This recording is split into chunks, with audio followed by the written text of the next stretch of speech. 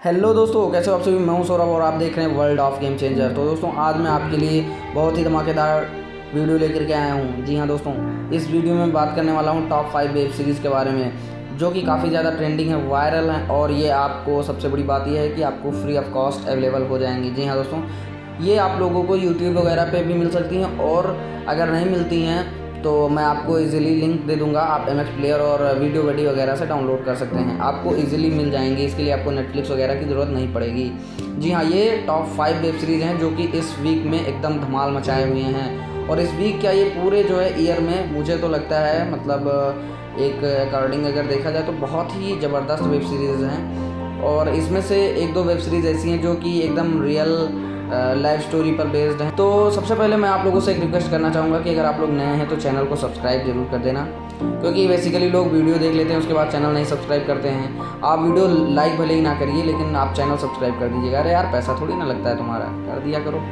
तो चलिए हम बात करते हैं वेब सीरीज़ के बारे में। दोस्तों, पाँचवें नंबर पर जो हमारी वेब सीरीज़ है, उसका नाम है कैंपस डायरीज जी हाँ दोस्तों, ये यूनिवर्सिटी लेवल के स्टूडेंट्स से रिलेटेड है। और मतलब एकदम झक्कास लेवल वाली है, ऐसा नहीं आपको समझ में नहीं आएगी। एक्चुअली क्या क्या होता है मतलब कैसे रैगिंग होती है यूनिवर्सिटीज़ में और कैसे इलेक्शंस वगैरह होते हैं, कैसी लाइफस्टाइल होती है उनकी। तो इसमें हर्ष बेनीवाल जी हैं, इस वजह से मुझे बहुत ही ज़बरदस्त लगी क्योंकि उनका कैरेक्टर ही ऐसा, हर एक वीडियो चाहे वो शॉर्ट वीडियो चाहे वो वेब सीरीज़ टाइप का हो मतलब जोरदार कैरेक्टर वो प्ले करते हैं।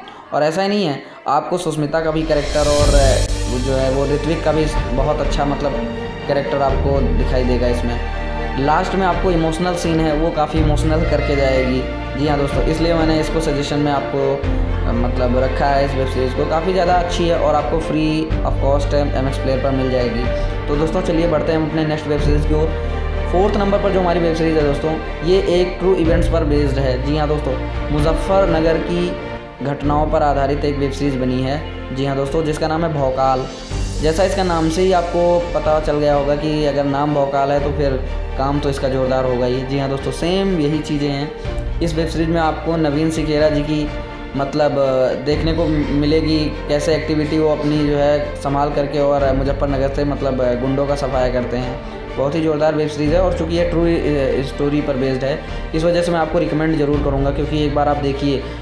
क्योंकि इसमें सच्चाई को दिखाया गया है, कैसे मुजफ्फरनगर में जो है क्राइम कैसे था और कैसे जो है मतलब एक आईपीएस ऑफिसर के आने से कुछ बदलाव हो गया और कुछ क्या एकदम से सफाया हो गया। तो दोस्तों, मैं बिल्कुल रिकमेंड करूँगा कि इसको आप देखिएगा।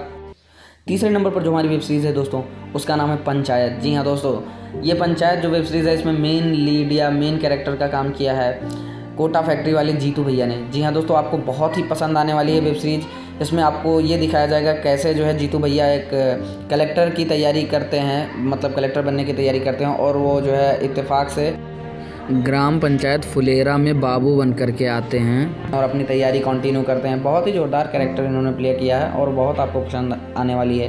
तो दोस्तों, मैं रिकमेंड करूँगा एक बार इस वेब सीरीज़ को ज़रूर देखिएगा और फिर कैसी लगती है आप लोग मुझे कमेंट करके बताइएगा, क्योंकि आपको तो पता ही होगा, जीतू भैया कितने गजब लेवल के मतलब एक्टर हैं और इसकी स्टोरी भी मुझे काफ़ी अच्छी लगी, मैंने देखी है। तो अगर आपको लिंक चाहिए होगी तो मुझे मैसेज कर दीजिएगा, मैं आपको या आप कमेंट करिएगा, मैं आपको लिंक दे दूँगा।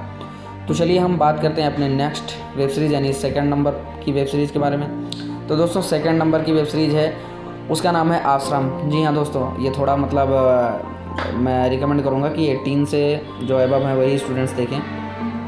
क्योंकि ये भी एक प्रकार से सच्चाई ही मतलब बयां करती है। जी हाँ दोस्तों, आप लोगों ने भी नाम सुना होगा, बाबा राम रहीम करके जो ये सब पकड़े गए थे बाबा लोग। ये आश्रम वगैरह में क्या, कैसी घटनाएँ होती हैं, कैसे ये लोगों को जो है बेवकूफ़ बनाते हैं। तो अगर आपको ये वेब सीरीज़ चाहिए तो ये आपको एम एक्स प्लेयर पर मिल जाएगी और अगर नहीं मिलती है तो आप मुझे कमेंट करिएगा, मैं आपको लिंक सारी की सारी दे दूँगा।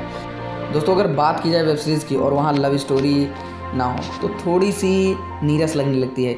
इस वजह से मैंने जो फ़र्स्ट वेब सीरीज़ को सिलेक्ट किया है, उसका नाम ही है इंदौरी जी हाँ मैं इसको स्पेशली स्टूडेंट वो किसी भी कैटेगरी के हों उनके लिए मैंने जो है ये रिकमेंड की है वेब सीरीज़ वो ज़रूर जा करके इस वेब सीरीज़ को देखिएगा, क्योंकि एक स्टूडेंट क्या करने के लिए मतलब घर से भेजा जाता है, क्या पढ़ाई करने के लिए, और वो वहाँ से भटक करके अपने माँ बाप के जो है अरमानों को ठुकरा देता है। दोस्तों, ये लव स्टोरी वेब सीरीज़ है। इसमें एक आपको दिखाया जाएगा कि कैसे एक लड़की एक पढ़ने लिखने वाले स्टूडेंट की पूरी लाइफ को बर्बाद कर देती है। अगर आप स्टूडेंट हैं तो ये वेब सीरीज़ थोड़ा बहुत इधर उधर होने वाली है, लेकिन आपको ऑल इन ऑल बहुत पसंद आएगी। और अगर नहीं भी थोड़ा पसंद आती है तो आप लोग थोड़ा पेशेंस रख करके इसको ज़रूर देख लीजिएगा, क्योंकि ये वेब सीरीज़ आपकी आँखें खोल देने वाली है। इसको देखने के बाद आपको पता चल जाएगा कि जो पढ़ने लिखने वाले स्टूडेंट हैं, वो क्यों नहीं सक्सेस हो पाते हैं, उनके मतलब अनसक्सेसफुल होने का क्या राज होता है। तो दोस्तों, इस वेब सीरीज़ को आप लोग ज़रूर देखिएगा और आप लोग देख करके बताइएगा कि कैसा लगा आपको वीडियो और इसमें से सबसे अच्छी वेब सीरीज़ कौन सी लगी। मिलते हैं अगले वीडियो में, तब तक के लिए थैंक यू बाय